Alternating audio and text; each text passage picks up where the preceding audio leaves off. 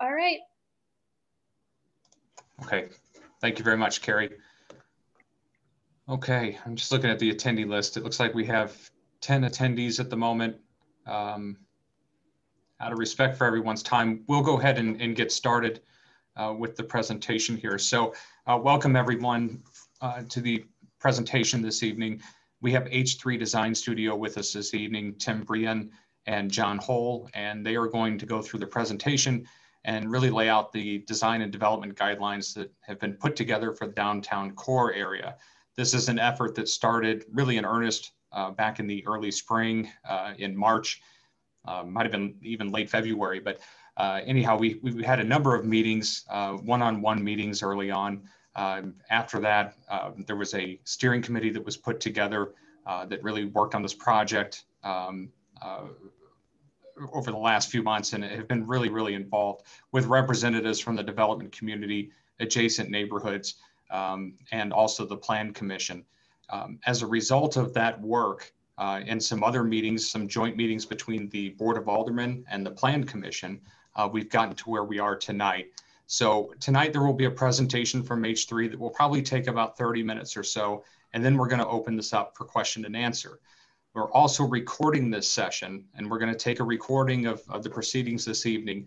We're going to put that on the city's website along with an opportunity for additional public comment for those that couldn't be in attendance this evening uh, to watch the presentation as it happens live. With this feedback and compile it, uh, we'll then have to go to the Plan Commission uh, and the Board of Aldermen for any types of approvals uh, or changes to the zoning regulations. Um, and that will also require a public hearing as we go through that process. So I just want to make it clear that this isn't the only opportunity for public comment. Uh, there will be an open public comment period immediately following this presentation. And then again, as this goes through the process to be formalized. Uh, so with that introduction, I'll go ahead and, and turn it over to Tim uh, to walk through the presentation. Thank you, David, and thank you everyone for joining us this evening. So what we'd like to do tonight, um, as, as David mentioned, um, is to present kind of a summary overview of the draft um, development standards and design guidelines. Tonight, we're gonna focus on the development standards. Um, and we, we, we, will be providing additional information um, to the city for uh, hosting on their website that, that uh, folks can view uh, separately to get more information on the um, on the design guidelines themselves, which are a lot, uh, a lot more lengthy. Um, but again, the, the, the, purpose of the meeting tonight is really to um, present and collect comments um, on the, uh, the development standards and design guidelines with a, a, focus on the development standards. And as David mentioned, um, we've uh, been working with the city and some representative groups um, since uh, earlier this year, really the beginning of this year. Um, there have been a number of, um, of, sessions with the steering committee you can, that you can see here. Um, and most recently, we, we had two um, joint work sessions um, between the Board of Aldermen and the Plan Commission Architectural Review Board, which were um, open public sessions on October 23rd and November 11th. also, just to reiterate, as, as David had mentioned, um, after tonight's meeting, we will be um, providing this presentation uh, as well as the longer supporting presentations um, with additional detail on the design guidelines to the city um, for, for posting on the website. And then we will be working with the uh, comments that we collected um, to begin to prepare the final draft of the development standards and design guidelines uh, document, which um, we will present to the Board of Aldermen, uh, Planning Commission, Architectural Review Board, um, as and then as David mentioned, there will be a, a, a public hearing process and, and um, public comment period on those as part of the adoption process. So we wanted to begin tonight, um, since this may be the first exposure that some of you have had to this project, um, with just a brief summary of, of how this project came to be and what, what is the intent um, for updating the development standards and design guidelines. So the area in question, um, you can see here on the map, it's currently referred to as uh, the downtown core overlay district, which you see in blue, and the central business district core overlay district, which you see in purple. And in addition to those two zoning overlays, there's also an entertainment overlay, um, which you see there in kind of the, the black hatch. And so the study area, um, which is kind of broadly outlined in the red line here, is really govern, governed by five different sets of regulations. There's also two planned unit developments or PUDs that have been uh, built or are currently being built in the area. That would be the Ceylon development at the corner of North Central and, and Maryland and the new Forsyth Point development, which is currently under construction.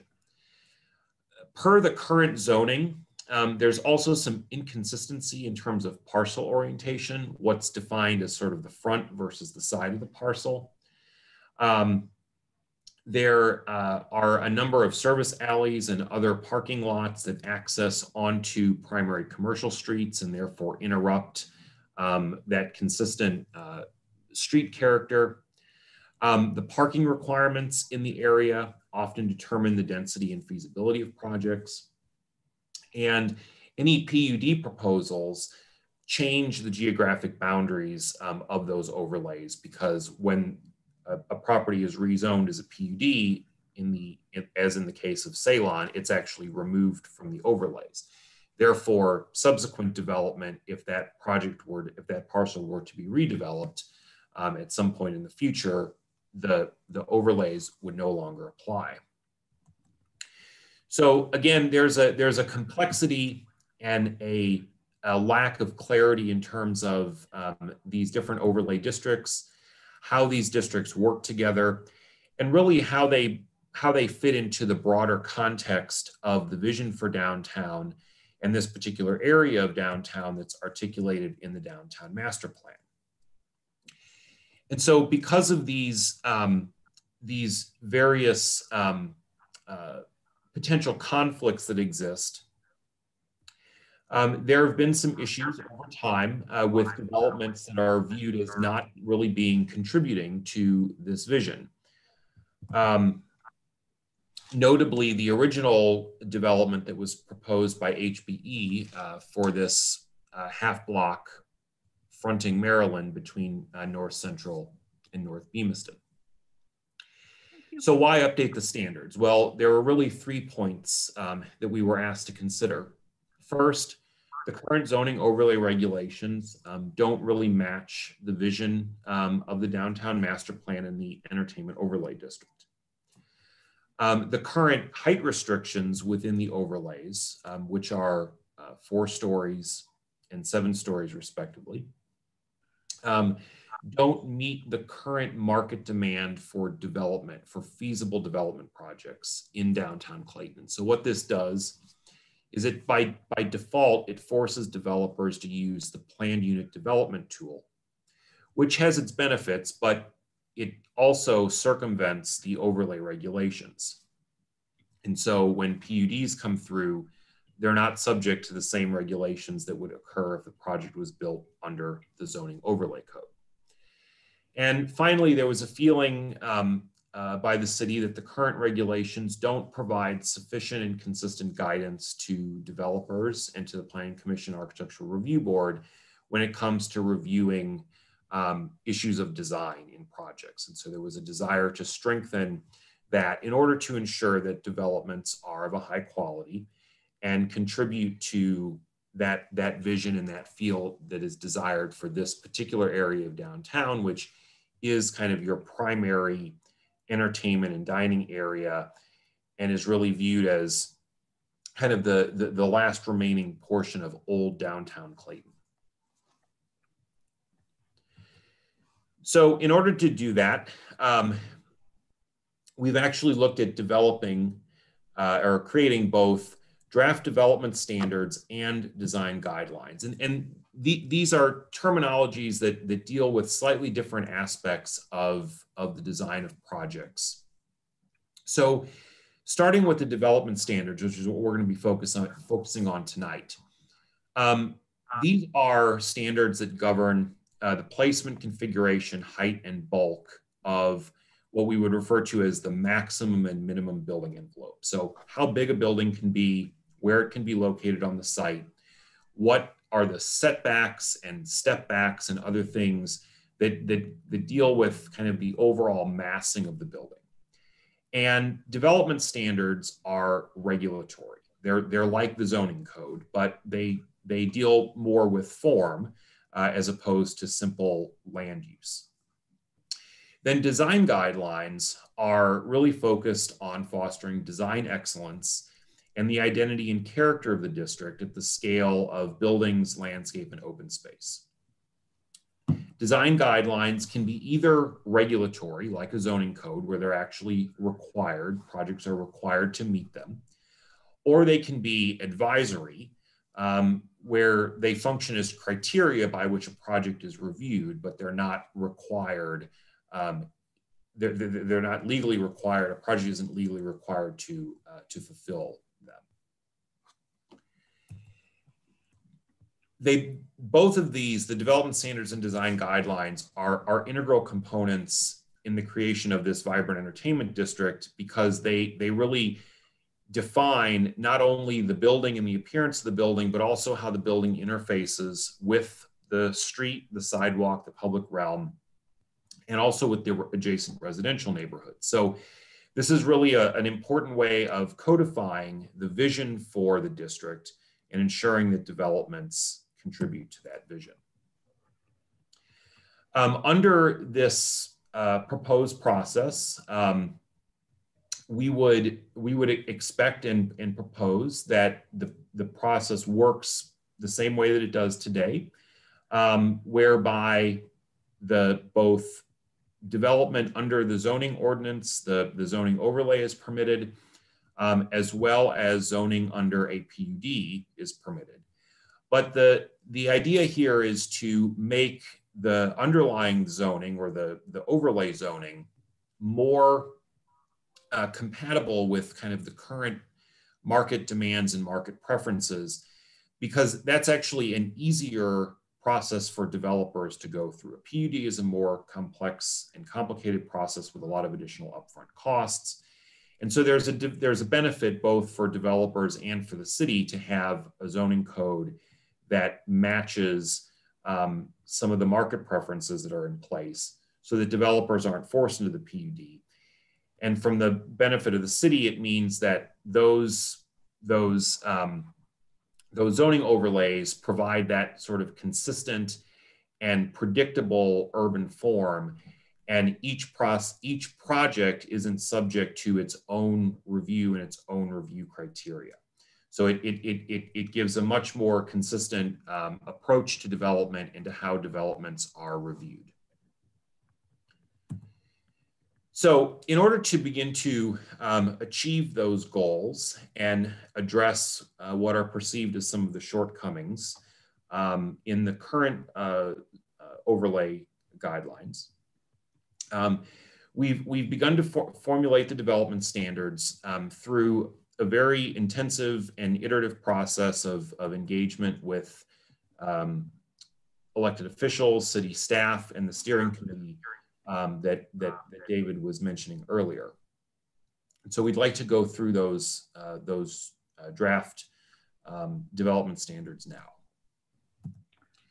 So one of the very first uh, and, and most important aspects of this that we wanted to look at was actually revising the boundaries of the district. So currently there are two overlay districts in play. And it was deemed um, through our uh, engagement that that really didn't make a lot of sense and that it was more desirable to consolidate those into one district um, with one sort of consistent set of guidelines and standards. And also there was a desire looking at um, potential future development opportunities to expand the district. So the current uh, district that we're going to be talking about tonight, it actually uh, goes from the, the alley that's east of City Hall, which is on this property here, on the east side, all the way to the center line of Brentwood Boulevard on the west. And then it goes from Maryland Avenue on the north down to Forsyth, and then at Central, it comes down to Carondelet. So this is the property, this is the, um, half of this is the, the city parking or the um, county parking lot across from the government center. And then on the corner here, you have World News and you have the, um, the uh, Bank of America building. And then it comes uh, currently as it as the boundaries do around where the uh, Cafe Napoli property is. So what we're talking about tonight um, only applies to the parcels within this boundary, and it is slightly expanded um, from the current boundary. The other important thing is that the, the boundary was expanded to include um, the Ceylon property, which is currently excluded because it was developed as a PUD, as well as um, the Forsyth Point property, which was is also currently excluded because it was approved as a PUD. So in the future, um, were those projects to be redeveloped for some reason or another, um, those, those parcels would be included uh, within these guidelines. So the development standards um, uh, consist of a couple of key components. We look at building placement, which is how the building is located on the parcel.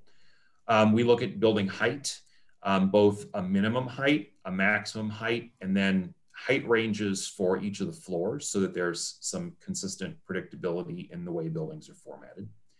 We look at encroachments, which is the ability for elements of the building facade to actually extend out over the public right of way. That could be things like awnings, canopies, or balconies.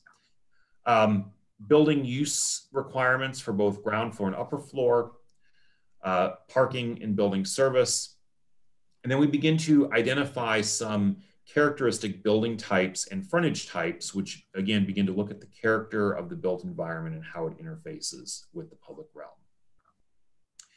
So in terms of building placement, um, the main change from the current uh, overlay district is that we are specifying a build to line as opposed to a setback line.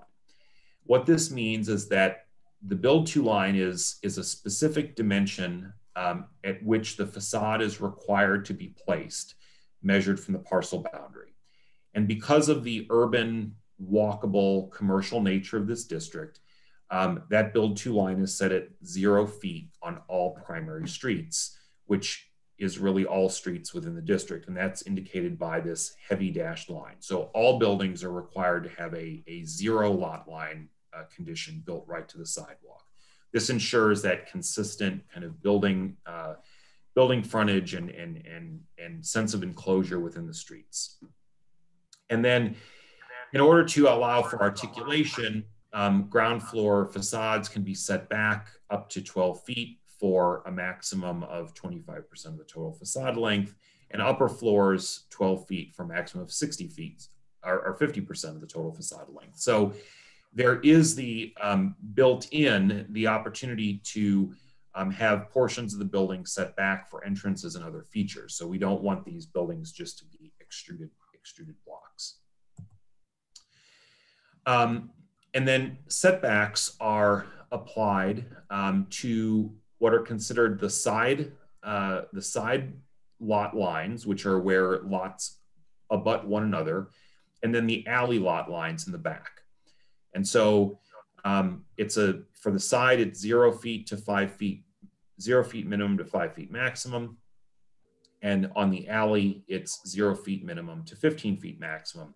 So what this is basically saying is that the entire footprint of the parcel is, is buildable. Um, so for a large format building that might have structured parking on the ground floor, um, the entire uh, area of the parcel is, is buildable and the the limits of of where you can set back are also limited to to that five feet or that or that uh, 15 foot maximum. So that's important because you know as you think of walking along for instance north central um, the the most amount of space that you could have between two buildings on on separate parcels would be 10 feet. So that's a that maintains that consistency where you don't have gaps in the in the commercial storefronts.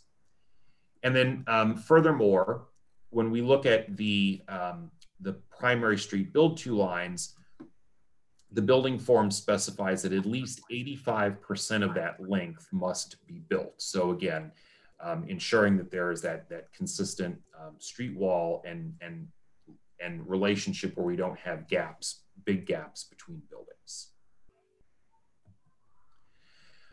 Um, throughout the district, um, the minimum building height is three stories. So all buildings that would be built would have to be a minimum of three stories tall or 40 feet. Um, this is again designed to, um, you know, uh, re reduce or eliminate building a one-story building that doesn't fit within the urban character of the area. And then maximum building heights are orchestrated by block. So the blocks that you see here in red, which um, front Maryland Avenue directly across from um, the resident, the Old Town residential neighborhood, the, the, the, the northern half of those blocks, the maximum building height would be limited to 10 stories or 140 feet. And for all the rest of the parcels in the area, the ones indicated in purple, um, the maximum building height of those uh, that, that could be built on those parcels is 25 stories or 300 feet.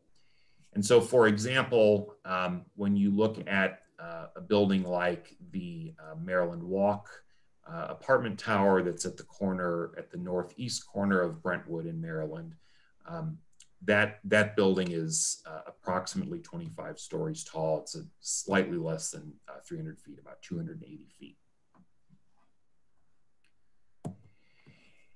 And then further defining the, the building massing are required upper floor step backs. So what this means is that above a certain height, um, the, the, the, the building facade would be required to be set back by a minimum distance.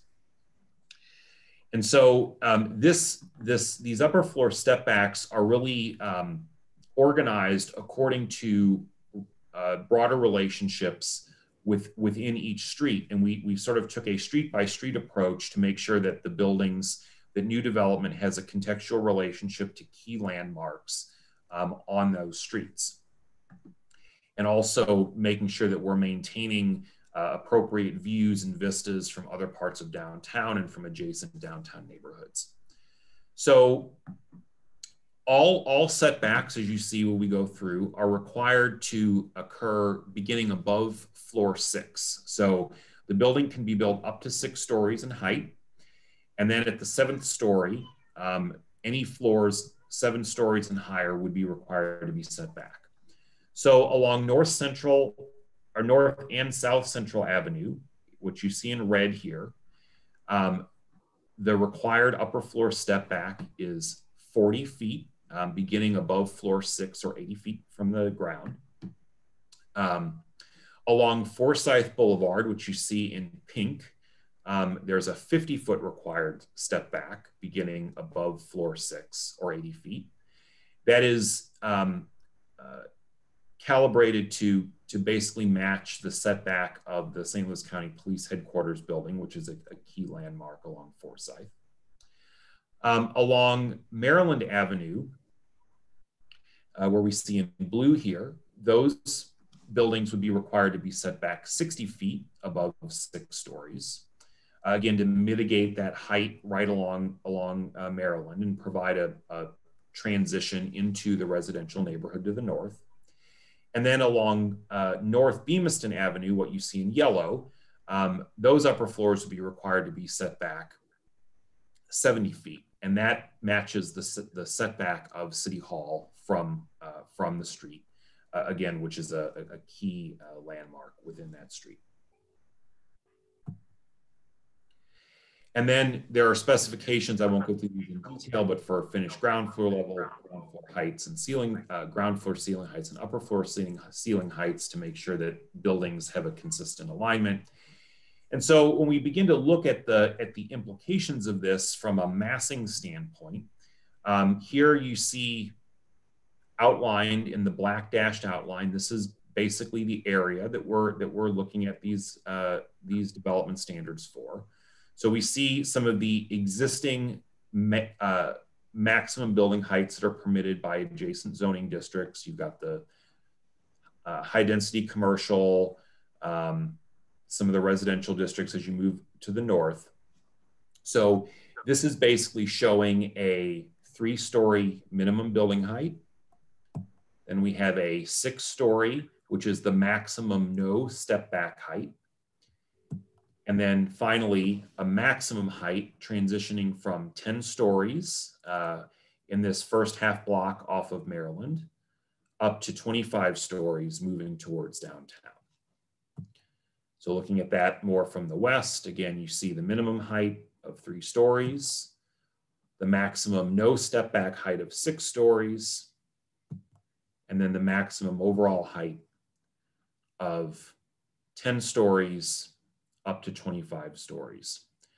So we feel that this um, does a good job of balancing um, the desire for larger uh, property, larger projects, um, making projects uh, economically feasible for a developer, um, making sure that at you know three stories, even small parcels can be uh, redeveloped incrementally or individually.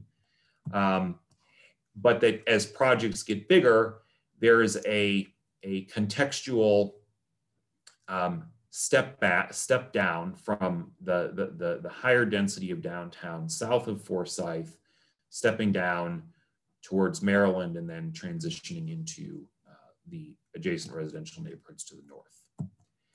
And when we begin to look at that in terms of kind of the specific projects and, and how the city is currently built, um, again, this is the minimum height. And you can see here the Forsyth Point development modeled um, as an example and the Ceylon development. So the minimum height of three stories, the maximum no step back height of six stories, and then the maximum height of, of 10 stories transitioning into 25 stories.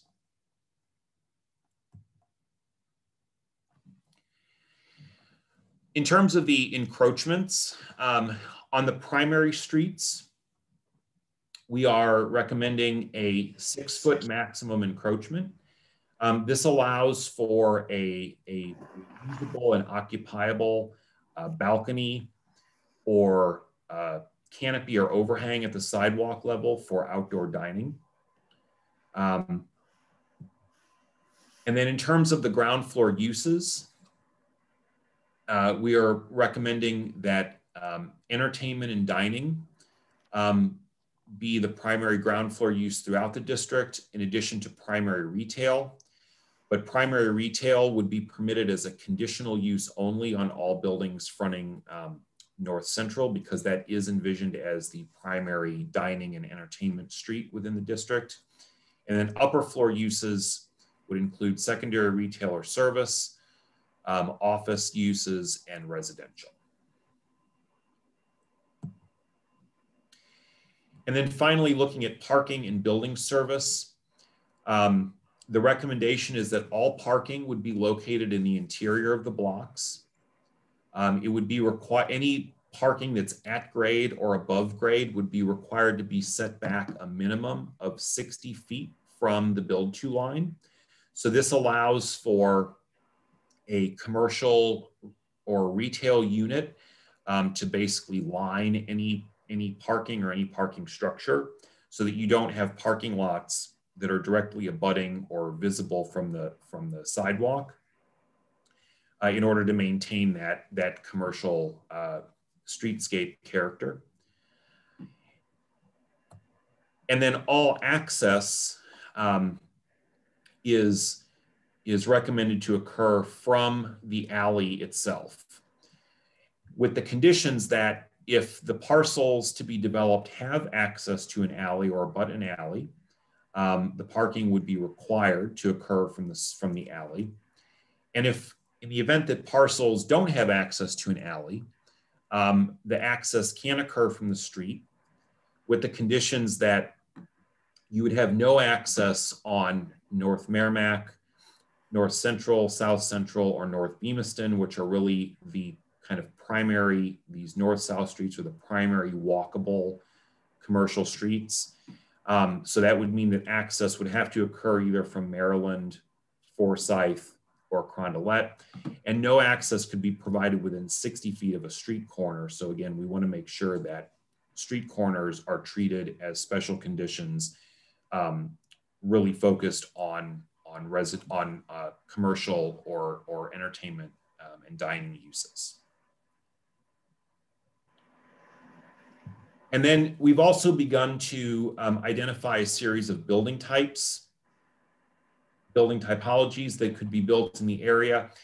Um, in our recommendations, we have more detailed um, specifications about these building types, but we've identified six live work buildings, flex buildings, commercial block buildings, high-rise buildings, live work buildings, and liner buildings. Liner buildings being those buildings that would front a parking structure.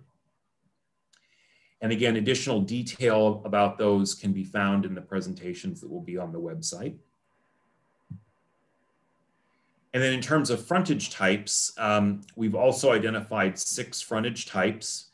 Um, these are um, specific uh, design elements that are uh, applicable to different types of uses, both residential and commercial.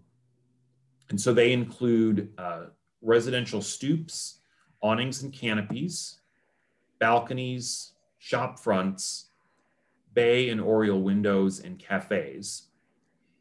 And the, the, the, the development standards um, recommend that each building must feature at least one frontage type on the ground floor and at least one frontage type on the upper floor, um, but can also feature multiple frontage types beyond that. And so again, the idea here is to provide a variety of building design elements and articulation um, that begin to define how the private space of the building interacts and interfaces with the public space of the street um, to provide visual interest, texture, and character of buildings um, and ensure that we don't just have kind of sealed, extruded uh, blocks um, with, with with none of those elements that help to contribute to that sense of vibrancy and that sense of character that this district uh, currently has and that historical development currently has had. So that concludes the presentation of the um, development standards. I want to touch quickly on the design guidelines. And um, these will be provided uh, in detail on the website for review. But the design guidelines um, basically deal with uh, these following nine uh, categories. So we talk about the objectives and definitions. Then there are design excellence principles, um, district guidelines um, dealing with the overall um, kind of public space vision as well as the interface between public space and private development within the district as a whole. Then there are architectural guidelines um, dealing with the overall design, articulation, and features of buildings, uh, building elements and materials, getting into some uh, very specifics, uh, very specific recommendations or guidelines about those, um, guidelines for landscaping, uh, public art and placemaking, environmental design, and then a series of land use tables which would which will key the the current land uses with the zoning code and and and, and relate those to to land use categories um, that are part of the, um, the development standards and design guidelines. And the overall objective of these design guidelines is to achieve design excellence um, and a vibrant, attractive, and human scaled um, downtown district.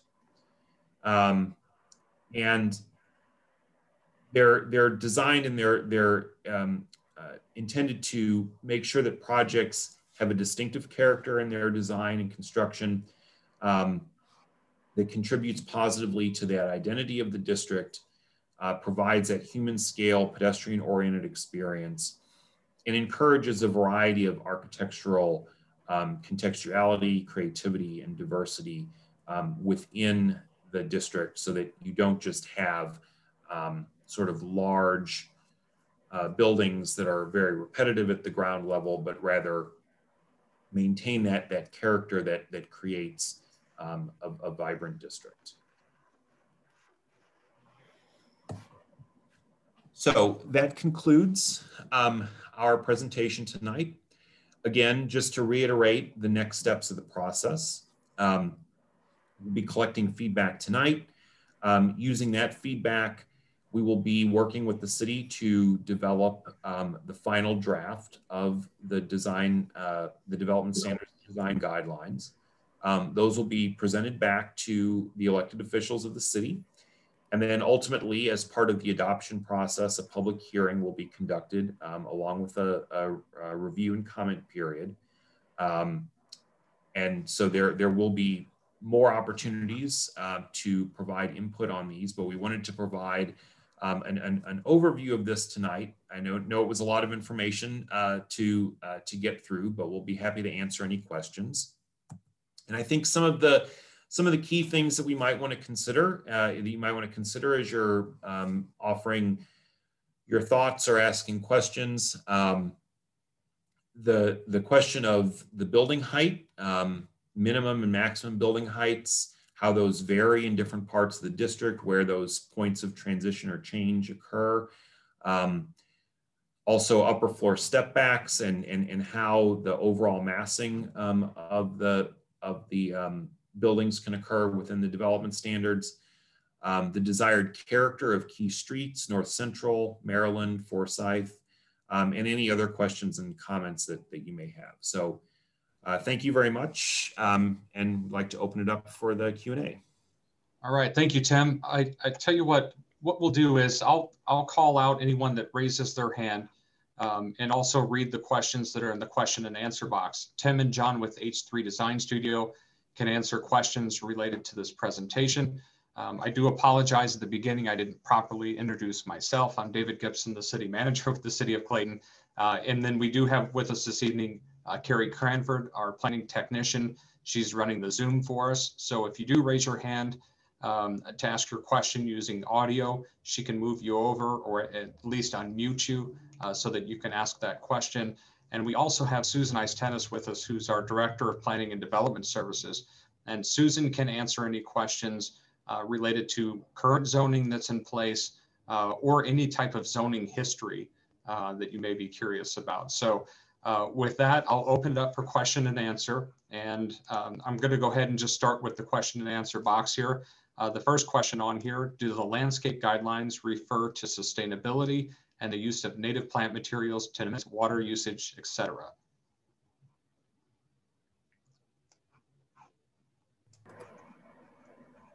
Go ahead, Tim. Yeah, so they they they will include um, those uh, those elements, um, as well as um, as well as guidelines regarding um, uh, re requirements for landscaping in private developments, um, uh, and as well as um, uh, public public realm landscaping. Um, but but yes, the the the the concepts of sustainability, native plantings, um, th those those are absolutely part of the the landscape uh, guide. And to add to that, I think it's important that um, part of this will be coordinating with the city's overall sustainability and landscape uh, condition. So one of the things we have still got to do is get that coordination and that linkage uh, working better than it is at the moment. So we've got some work to be doing with the advisory groups on, that. All right, thank you. The next question. Is it to be expected that developers would always build to the minimum height allowed? Yes. The, the purpose of having a minimum height is so you don't build one story buildings effectively in the middle of your downtown. So, and you keep that, uh, the smaller buildings, which are two to three stories. So, yes. Okay, thank you, John. Uh, next question. Could the public art guidelines include recommendations for murals as part of the public art in downtown Clayton? I think this is a similar answer to the first one in terms of sustainability and landscape. Uh, we're wanting to ensure full coordination with the public art uh, recommendations in there.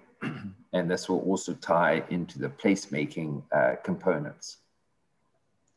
And I'll also mention to anyone that's been following uh, recent conversations in the city, uh, we did have a conversation. Um, well, there have been multiple conversations at the Public Art Advisory uh, Committee, at the Architectural Review Board, and also at the Board of Aldermen about murals. So we're still doing some more research on that. There's there's there's a lot to it on the regulatory side.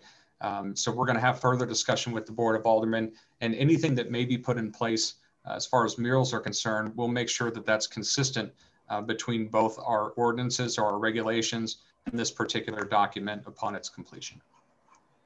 Um, the next question here, does this plan allow for a widening of the sidewalks and removal of one car lane to maximize pedestrian traffic and restaurant offerings for outside dining?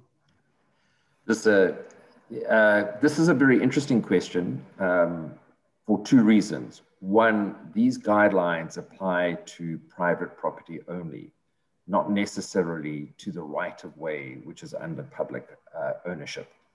However, the regulations have, have, and in the conversations to date, we have recommended that sidewalk widening occur as part and parcel of that, so, which is really important relative to fostering that sense of vitality. So our guidelines will incorporate ground level recommendations for the relationship of the building to the sidewalk. And we have uh, separate recommendations uh, on the design of the right of way. They're not part of the actual code. Right. Ultimately, um, and David, you can correct me if I'm misstating this, but ultimately it would be the responsibility of, of the city to um, develop and adopt uh, an, an, updated uh, streetscape standard for one or more particular corridors within the within the study area that that that, that may incorporate those widened sidewalks. Is that correct? That's correct. We do have a standardized streetscape uh, for any projects, um, uh, new projects, but uh, we do not have a well-defined corridor plan as far as streetscapes and, and cross sections are concerned at this point in time. And I don't know if Susan Istenes has anything to add to that or not, but. This is Susan. No, I, I don't. That is uh, one of the things that um, needs to be uh, fleshed out as, as, part of this process um, per the recommendations of H3. So we will be looking at that um, as part of this process. Great. Thank you, Susan. All right, the uh, next question on here, are these public art guidelines going to PAAC or Public Art Advisory Committee for review and recommendation? Uh, to date, uh, we have not sent those to the, the PAC, um, but that's certainly not a bad idea and, and something I'm writing down at this moment. So um, we can certainly send that over to them for their feedback. Um, but even though we, we, didn't show those here this evening, uh, as, as Tim had stated, we will have um, a link provided so you can look at those design guidelines. Uh, but it is a, a, a, very general guideline, I would say at that. Um, but we will have, um, I, I think that's good. We can send that along to the PAC for their consideration.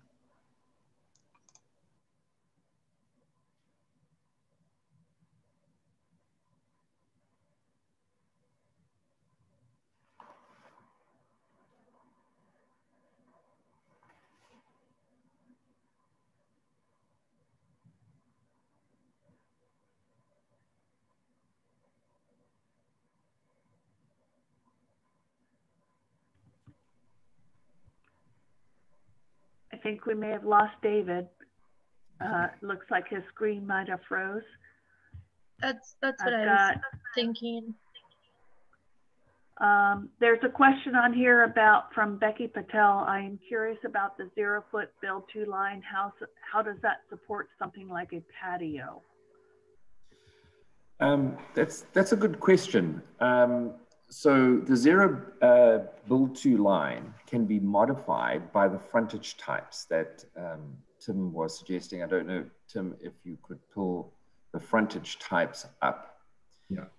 And there's normally a regulation on how much of the frontage types uh, can be as a proportion. So as an example, if you looked at one uh, the cafe, you can see that the building, in fact, can be set back for a patio or um, uh, a shop front, etc. So are, the whole point is that it's, again, this texture is allowed and modification is allowed within those. So you, you create that opportunity for diversity um, and adjustment uh, by the individual developers along, along the way.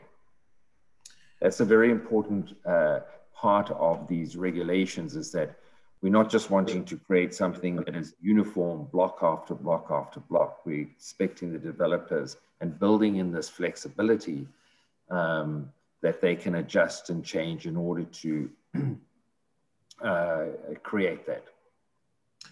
Yeah, and just to further on what John John just said, in in addition to those um, setbacks that are allowed uh, by the frontage types, um, we're also recommending that uh, a, a, portion of the facade um, can be set back.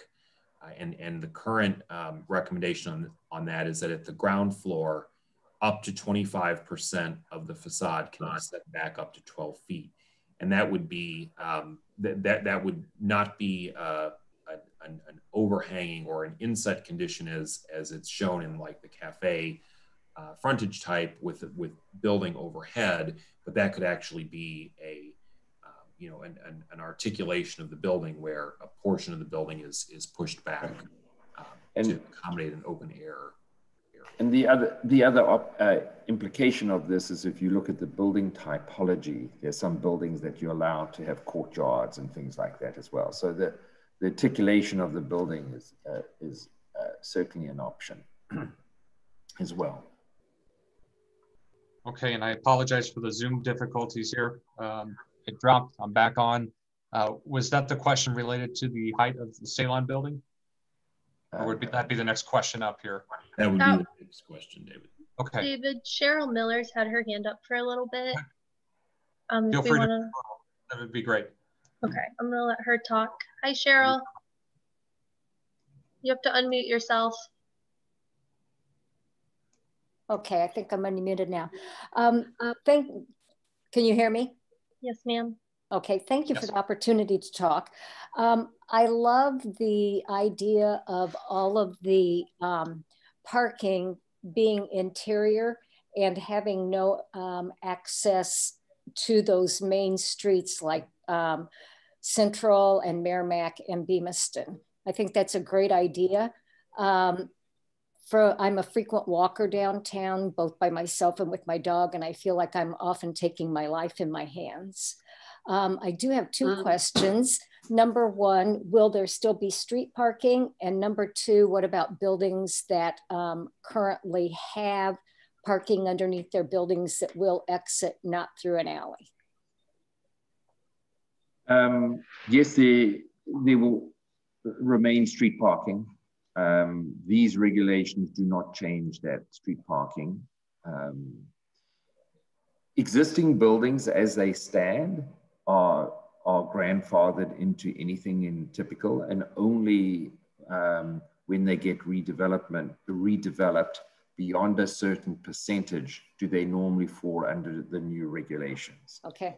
So that will be a way that would handle transition. So it's, it's trying to be fair to developers if, for instance, they did some minor work outside, you know, you, they, they don't have to then bring their full building up to these new codes. But if they were doing substantial renovation and expansion of their building, yes, they would then do it. So there's just a subtle difference in, in that.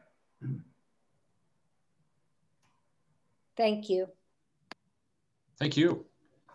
All right, the next question. What is the current height of the Ceylon building relative to the maximum height allowed um, of the proposed change, maximum allowed height of the proposed change. So the Ceylon building um, is a, a five-story building. Um, and it is it's basically four stories of uh, of residential units um, over a, a, ground floor commercial um, that that fronts uh, an interior parking, a single level parking structure. Um, so it would fall within that range of the non step back maximum height um, of three stories to six stories. So again, a three story, uh, three story minimum building height throughout the district, six story maximum building height before an upper floor step back is required. So one, one can think of this, the Ceylon building as kind of a, a typical, um, typical of what that, that base building, that non-step backed height um, would, would be. Okay, thank you, Tim. Uh, next question, does the patio need to be recessed under the building as depicted in graphic 1.7.6? No, not at all. That's one example. And again, just sort of going to uh, what we mentioned before, a certain percentage of the building can be set back from the zero building line. That space can be a patio. You can make a courtyard building. That space could be a patio. And then, of course, we have recommended that within an expanded um, sidewalk uh, area, there should be some designated zones, in fact, for outdoor dining. So again, trying to have multiple options available to the developer to foster that sense of um, the entertainment district. Okay, thank you, John. Uh, is those are all the questions in the question and answer box. Uh, and I don't see any hands up. Does anyone have any additional questions?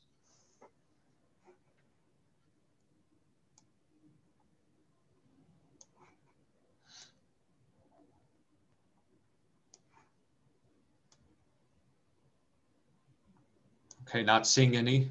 Last call for questions.